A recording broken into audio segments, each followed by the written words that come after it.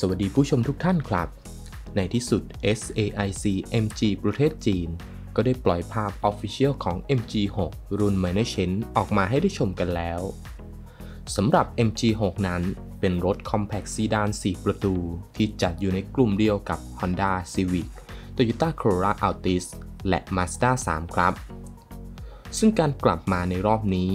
MG6 มีการปรับมิติตัวถังให้มีความยาวขึ้น 9 มิลลิเมตร แต่ในส่วนอื่นๆนั้นยังคงเดิม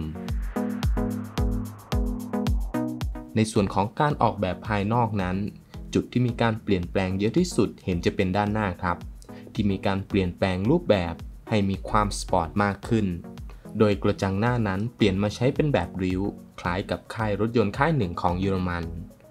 ส่วนการชนด้านล่างนั้นใช้เป็นแบบรังพึ่ง ซึ่งมองโดยรวมแล้วทำให้หน้ารถมีความสปอร์ตมากกว่าเจนก่อนอย่างเห็นได้ชัด ส่วนการตกแต่งภายในนั้นไม่ค่อยมีการปรับเปลี่ยนอะไรมากนัก มีเพียงการย้ายตำแหน่งปุ่มกดเพียงเล็กน้อยเท่านั้นสำหรับหน้าจอแสดงผลข้อมูลของตัวรถนั้นเป็น LCD ความละเอียดสูง ขนาด 12.3 นิ้ว ที่จะเป็นตัวบอกข้อมูลการขับขี่ทั้งหมดของรถ ส่วนจอ Infotainment นั้นเป็นจอ IPS ขนาด 10.1 นิ้ว ติดตั้งตรงกลางคอนโซลหน้า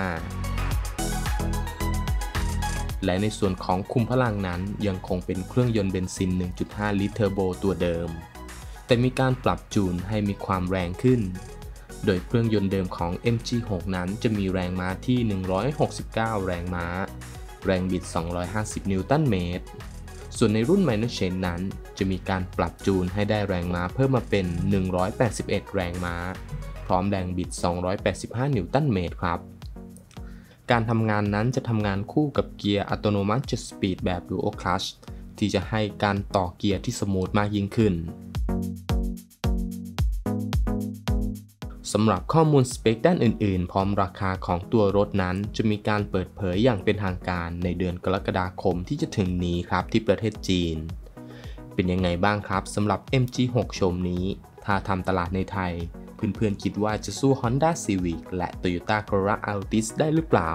คอมเมนต์บอกเราด้วยนะครับ และหากชื่นชอบข่าวสารของเรา กดไลค์และกดติดตามเลยตอนนี้ เพื่อจะได้ไม่พลาดข่าวสาร และเทคโนโลยียานยนต์ใหม่ๆ จากทั่วโลก แล้วเจอกันใหม่ในคลิปหน้า สวัสดีครับ